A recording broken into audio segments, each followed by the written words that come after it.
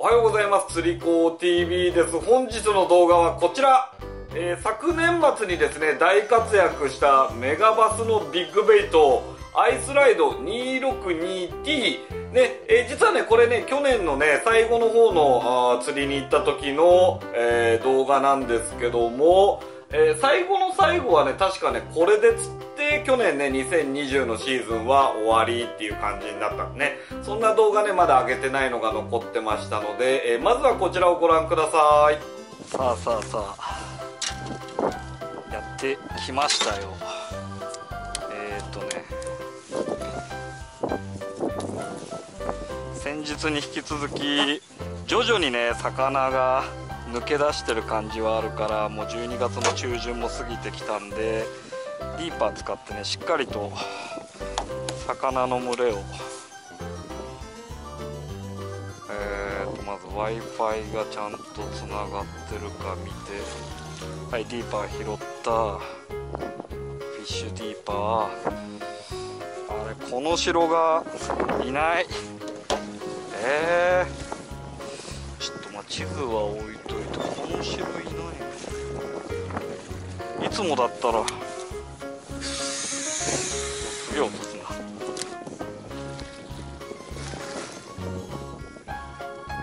向こうちょっと投げた側は。あれ。このシロさんがいなくなっちゃったかな。そう。魚が。くなっちゃった。あーでも下の方にはいるか。あーあーまあでもでもでもでも。ちょっと感度下げてあーまあなんか釣れそうな筋は映りますね。うん。あよかった。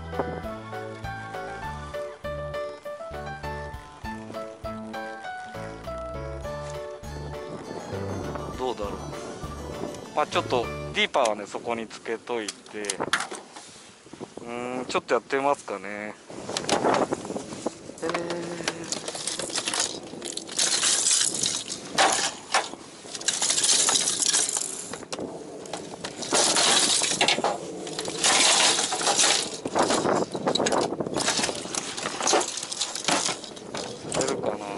えー、ちょっと微妙だからサーチベイト的にダヴィンチ。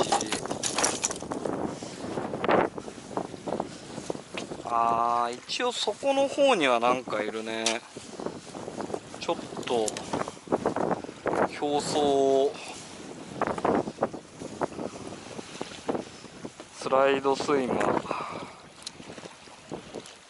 スライドスイマーで。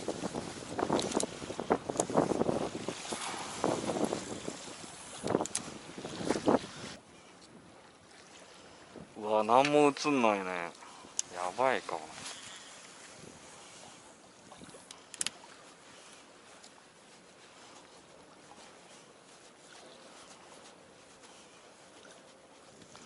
ちょっと困った時のダヴィンチ240で。ああでも一応なんか映ってはいるな。ねこういうふわっと上がってるのが。なくはない。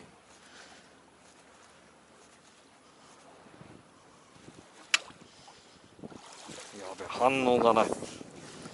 ええ反応ないっすよ。終わったかな？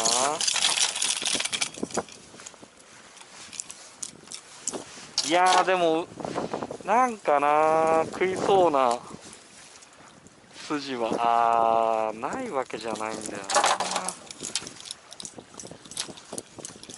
先日具合の良かった。アイスライド。262T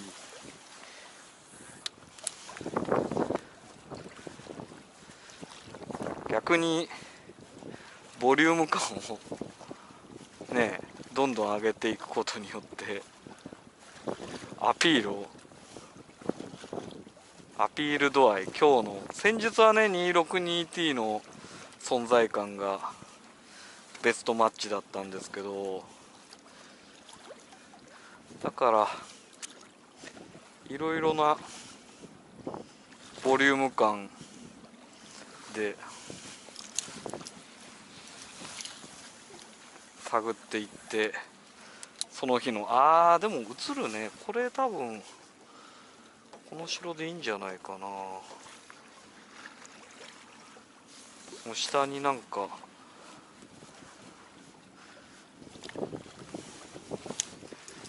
やいよいよずっと具合の良かった夜のシーバスゲームも終わりかな。まあ極寒フィッシングなんで。もうねなんか狙えそうなんだったらね頑張りたいなと思って通っちゃってましたがいよいよフィナーレが。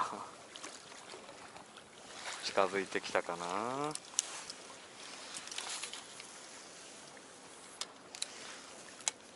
この下の方に林みたいにね映るやつは。まあイノおあ食った。よし。あバレた。くそ。いるいるいる。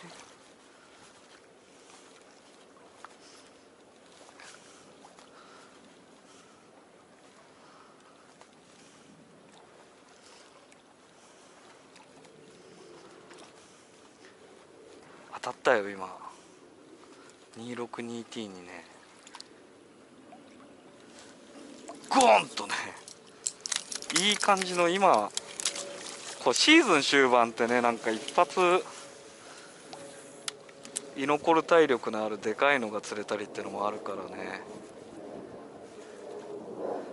ワンオクの方で小さいルアーで数釣りっていう遊び方もあるんですけど居残り組をね一発80とかあったりするから狙っていくなんていうのも楽しいんですけどね。あーちょっとバラしちゃったから抜けちゃったかな。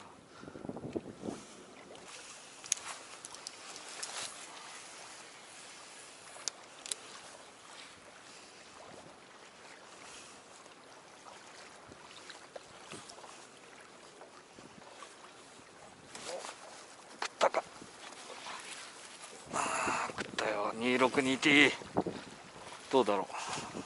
ああダメだ食いが浅いな。がっぷり食わせらんねなんつったらいいのかな。完全に全てが合ってればオートマチックに頭から丸飲みぐらいなんだけどなんかちょっとずれちゃってる。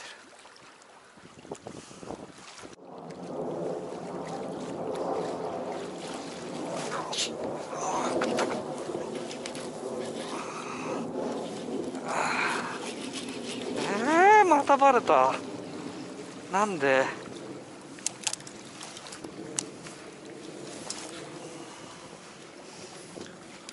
いや。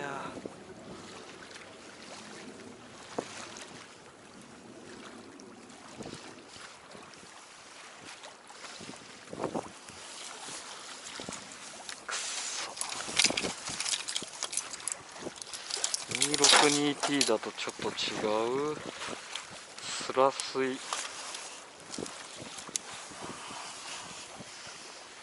スライドスイマー。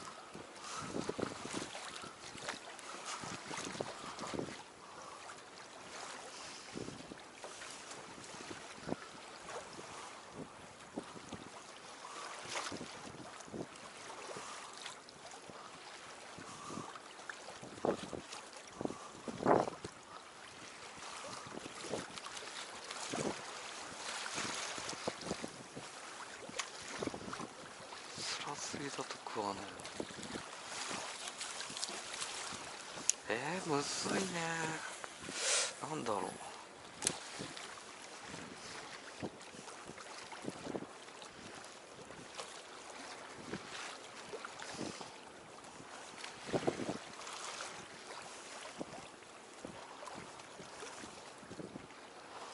ボリューム感的には2 4センチ以上ないと無視なんだ。2 0センチ以下のにすると途端にね無視無視。あと1頭入れてみよう。うわ指先がもうかじかむな。ええー、むずい。262T のボリューム感だと。食うんだけどねえあの2 0センチ以下のルアーにすると食わなくなってあミラクルミラクルジャンキーナイト入れてみっか、うん、メケメケの超長いやつ。薄いね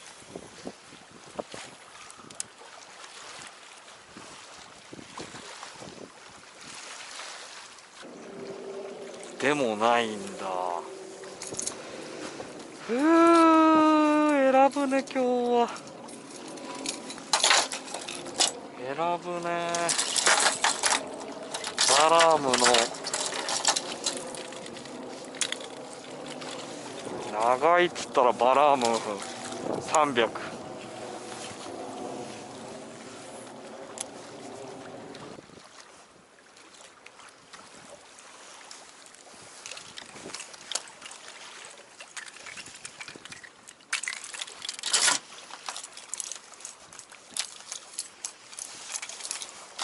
バラムから262 t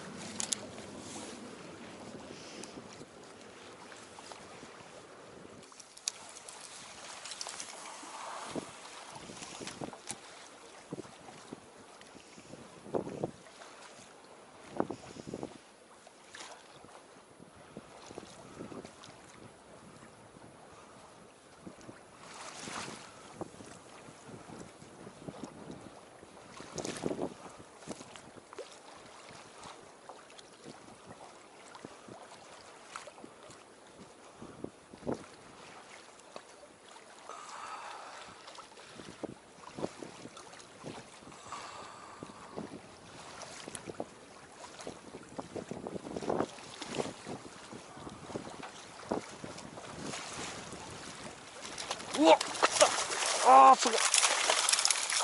おおすげえ。やっぱ 26DT だね。ほうほう。なんかもう浮かべて今船べりまであー流れてきちゃったと思ったらそれにたまらずバイト。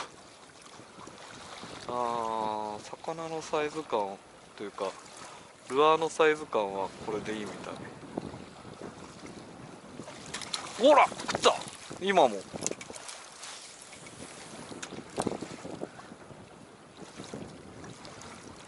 262T のこれがふわって流れるだけでシーバスのここら辺のシーバスのお気に入りみたい。ちょっとショートキャストでしっかり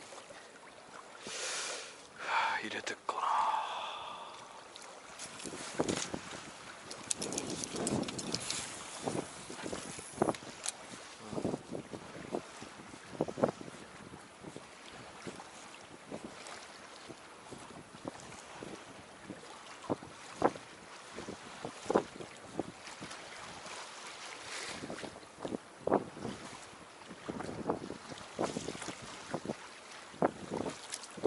うわ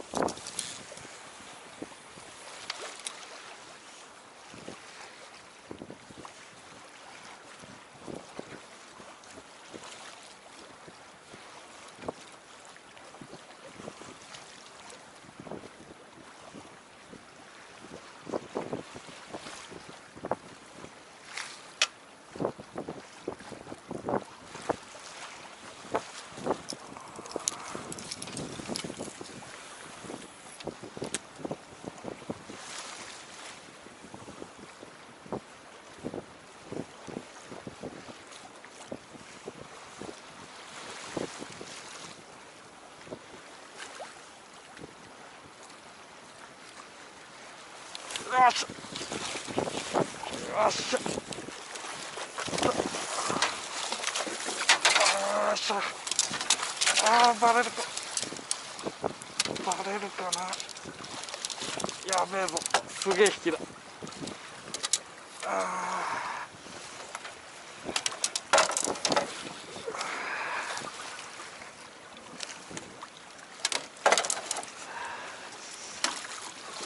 出てこない。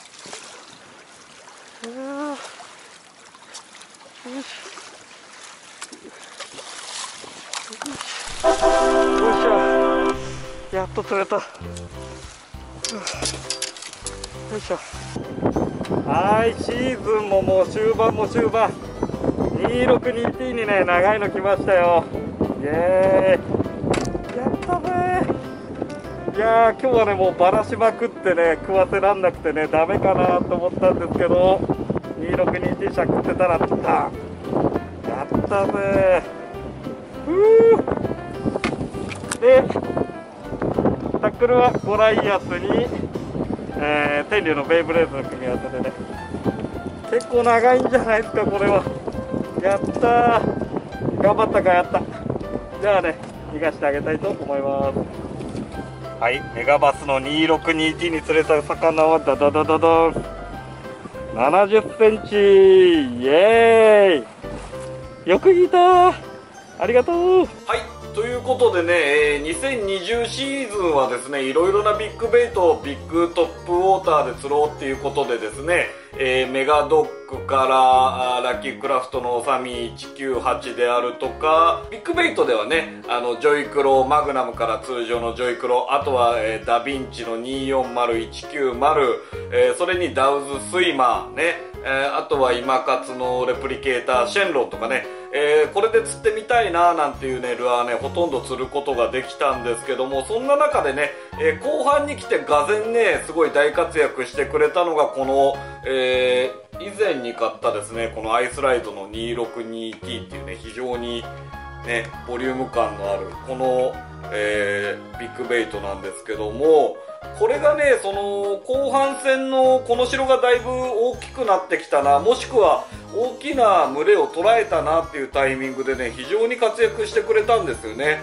このなんだろう尺腕まではいかないんだけども、えーなんだろう23センチ超えぐらいよりはえでかいっていうね独特な、え存在感、えーボリューム感サイズ感なんですけどもこれはねあの1本持っておくとですねうーんそうだななんだろうジョイクロマグナム。いやもう少しアピールしたい。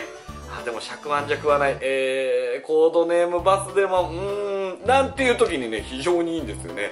何にしろあの魚の追いが一番良かったっていうのとまあ、フッキングもね、えー結構決まりやすかったなっていうところでね針はねちょっとね BKK って針に、え変えてみてるんですけども、まあ、この針もね去年の後半ぐらいから使い出して非常になんだろう魚、えかける能力と、え実際に船にあげるまでのね、えバランスがいい針だななんていう風に感じていてまあ欠点があるとしたらなんかねこれあんまりなんか売ってるの最近見かけないんですよね。うん、だから、まあ、中古とかになるのかな新品でもまだ売ってるのかなよくわからないんですけども、えーまあ黄色いお店なんかで見かけたらね、あのー一つゲットしてみてはいかがでしょうかっていうところと、えー定価はね確かね1万円前後だったかな、えー釣り具屋さんなんかでね白い綺麗な箱にね入ってるやつなんかもたまに見かけるのでそういうのもね見かけたらねこれなくなっちゃったらなかなか買いづらいプラグかもしれないので、えーおすすめでありますっていうところで。本当ね絶妙なサイズ感なんでそこまでジャイアントじゃないロットでも投げれる限界ギリギリなサイズかな。ね。そんな感じで使っておりました。であとはね投げてふわーふわーっとね漂わしたりたまにジャーク入れたりすると、えー比較的オートマチックにね、あのー魚が食いついてくれるんでなんというかまあ楽ちんなルアーではあります、えーこのボリューム感ね、え気になってる人釣り具屋で見かけたらこれありですよ。いうことではい。というわけで、えー本日の動画はこちら、えーメガバスのですね比較的大きめですねビッグベイト。 I-SLIDE の 262T これでね、えー、2020シーズンの最後のねシーバスが釣れたよっていうねこういった動画でした。はい。釣り子 TV でした。また会おうぜ。